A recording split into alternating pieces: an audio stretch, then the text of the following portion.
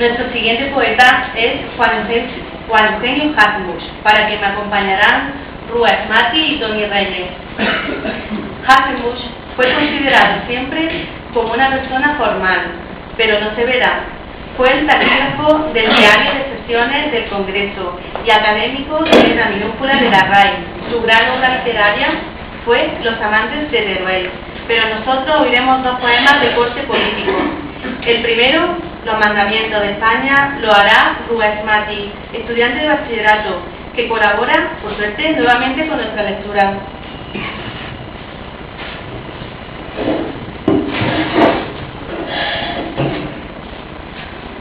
Dicen que locos y niños hablan siempre la verdad.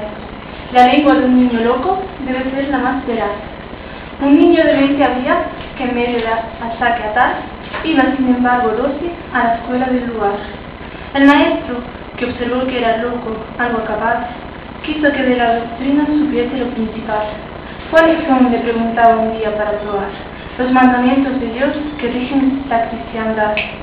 A los hombres, dijo el chico, Dios impuso en general, y después a las naciones, otros en particular.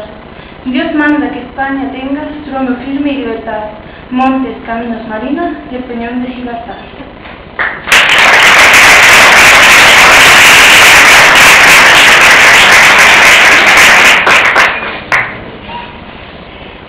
En España tuvo dos vertientes, una conservadora y otra liberal.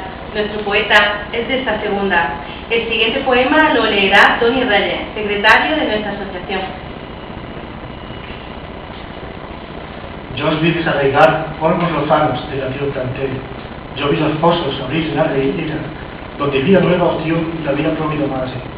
Yo vi las ramas extender nacientes y de tierno follaje de vestidos, niño yo entonces, vuestro liso tronco teñía con la mano, ya que os puedo con ambas abarcar, puda corteza los caracteres deformó, que un día nosotros grabé, cual en mis la muerte de la edad y la desgracia troncaron, aire de fulminante ceño, los dulces rasgos de la infancia hermosa.